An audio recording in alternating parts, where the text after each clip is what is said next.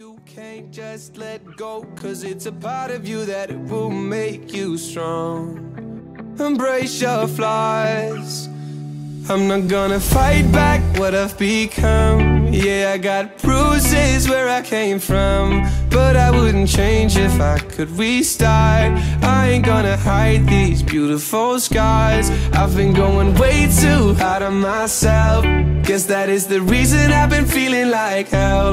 But I wouldn't change if I could restart. I ain't gonna hide these beautiful scars.